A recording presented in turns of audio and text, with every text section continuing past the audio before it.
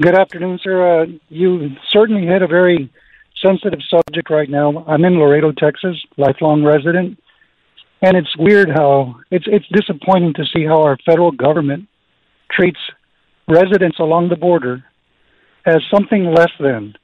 They have a certain mm-hmm. disdain for us. They have a certain mm-hmm. uh, arrogance about the way they treat us, as if we don't deserve the same level of protection as every tax-paying citizen in this country. We're being ignored and we feel like we are absolutely being I don't know for lack of a better word there's there's a prejudice against us. I'm a seventh generation Hispanic. Most of the people that live along the border have been here for generations even before we were part of the United States. And somehow we don't deserve the same level of protection. We go around our ranches and our properties armed to protect ourselves against people who we don't know what kind of criminal history they have, what kind of health mm-hmm. history they have, whether they've been crossing jungles or through uh, uh, uh, uh dirty, uh, infested areas, uh, urban areas with disease and whatnot. We have no idea what mm-hmm. condition they're in, and we're packed into commercial air, air, air commercial airliners.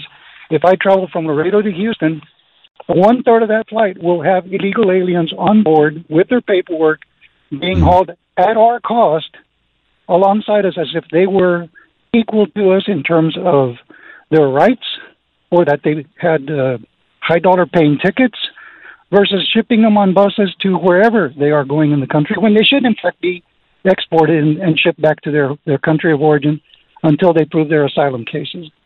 We are being ignored by our federal mm-hmm. government, and the Biden mm-hmm. administration has absolutely ruined our communities.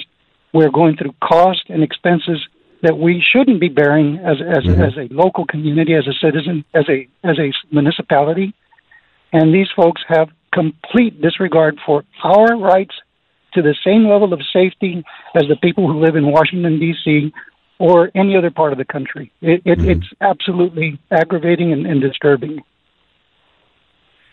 I can only imagine, Rene, what you must feel like when you hear people in New York or Boston say, "Oh, we're overwhelmed. There's there's dozens and hundreds of them uh, coming in in through the buses and."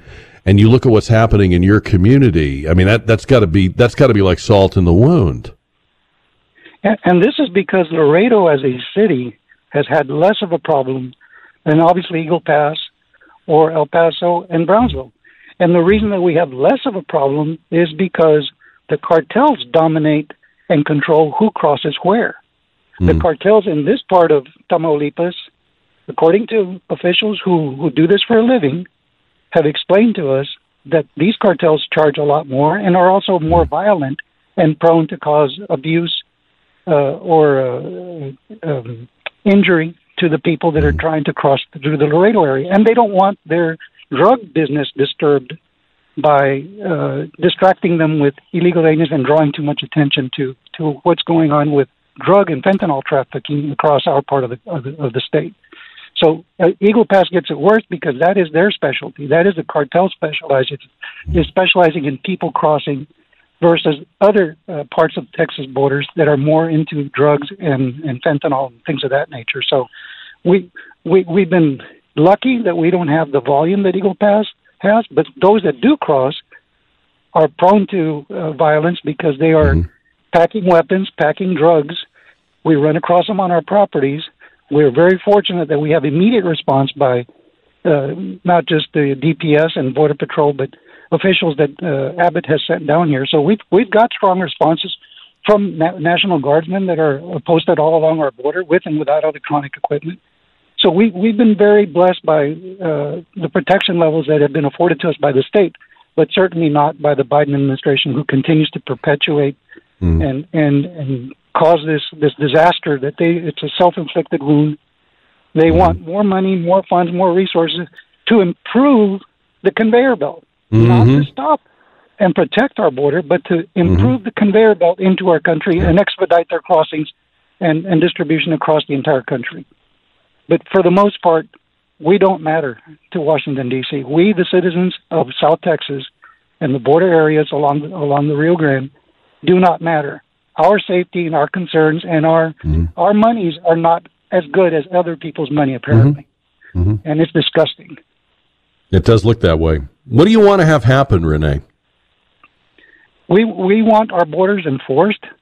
We want our we want the the the border patrol to be focused on catching and exporting, not catching and releasing.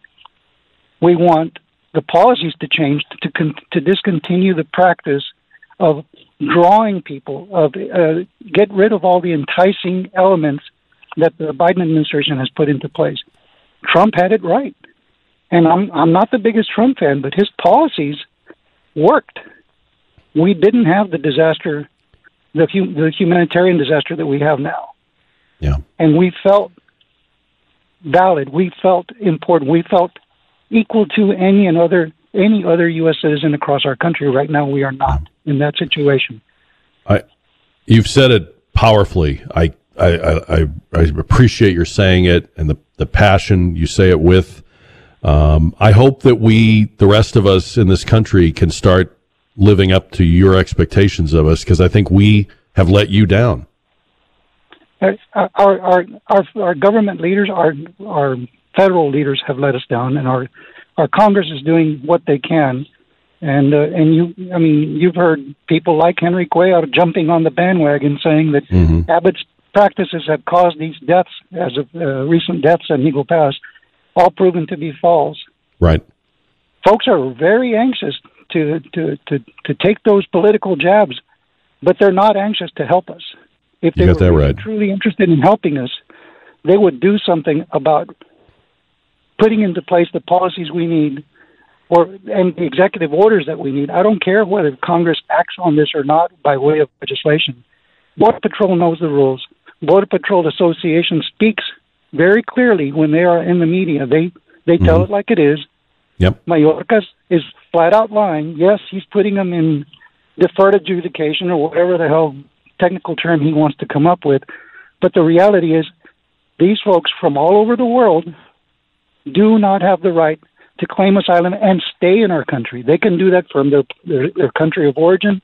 They can do that from other uh, bordering nations, but certainly not within within our Yeah.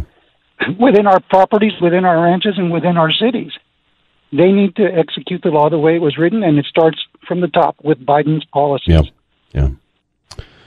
So, Rene, you're thank, you for you're a good- the word out there.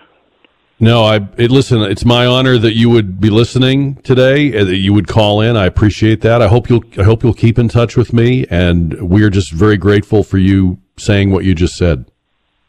Well, sir, your your signal reaches as far down as Laredo and Zapata.